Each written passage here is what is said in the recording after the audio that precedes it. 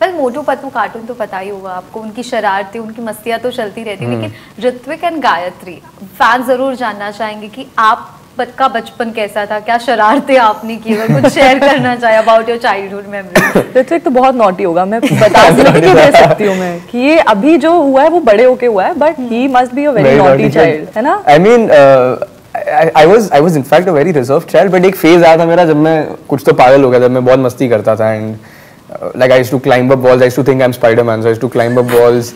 Uh, my मैं. पोल वोल पर अटक के ये सब बकवास चीज़ें करता था. I can imagine. Yeah, yeah. So I used to do all of that. और बस जनरल मस्ती in general.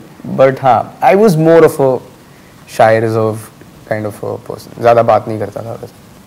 I was a complete opposite actually. Okay. I was very talkative and I had I used to have a group जहाँ मैं रहती थी तो हमारी जो गली थी वहाँ में जितने भी लोग रहते थे वो सब मुझसे डरते थे क्योंकि मैं मैं वहाँ पे रूल बनाती थी कि कौन खेलेगा हमारे साथ कौन. नहीं खेलेगा तुम गाली देते हो तुम नहीं खेलोगे so I was very like you can't abuse yeah, yeah I was always that person so also मुझे वो करना पड़ा बिकॉज़ मैं तीन भाइयों के साथ बड़ी हुई हूँ। तो मेरे कजिन्स भी वहीं रहते थे। So I had to be bold to stand up क्योंकि नहीं तो मैं पिटती रहती ना। hmm. वो तीनों मतलब चढ़ जाते थे मुझ पे। So I had to really be bold and you know that that's I think why I was like that but I was very talkative, very into playing games, and I played football with my brothers growing up so much.